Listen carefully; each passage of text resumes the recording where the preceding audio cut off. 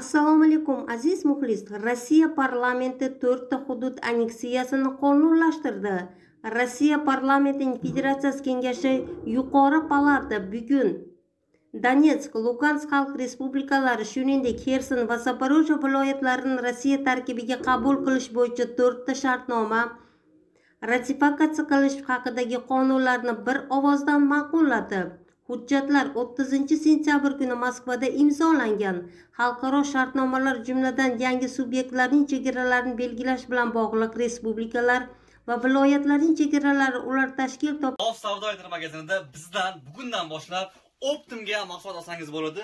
Minoxidil semirtiradiganlarga aksiyani bombasi to'qqiz yuz rubldan qilib yuborganmiz akalar.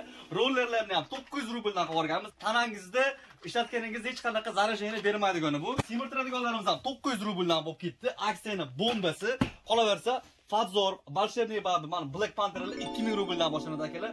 Qolaversa, bizda optim narxlari 10 tadan ko'p oladigan bo'lsangiz, narxlarni bundan da arzon qilib beramiz. Tanasida ugrilari bor akalarimizga, mana bunaqa kremlarimiz bor, ugrilarni yo'qotib beradi. Qolaversa, yuzdagi ajinlarni yo'qotib beradigan, yoshartiradigan mana ayollarga, erkaklarga, kallagalarni zo'rlardan bor. Videoni past nomer bo'ladi, aloqaga chiqinglar.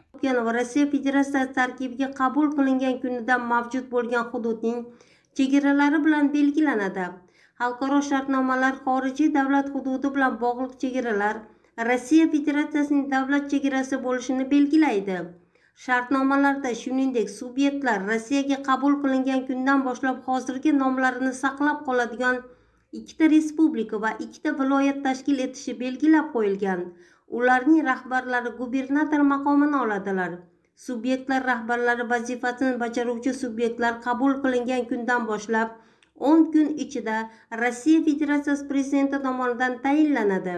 Mintaqaviy hukumatlar rossiya federatsiyasi qonunchiligiga muvofiq amaldagi gubernatorlar tomonidan tuziladi.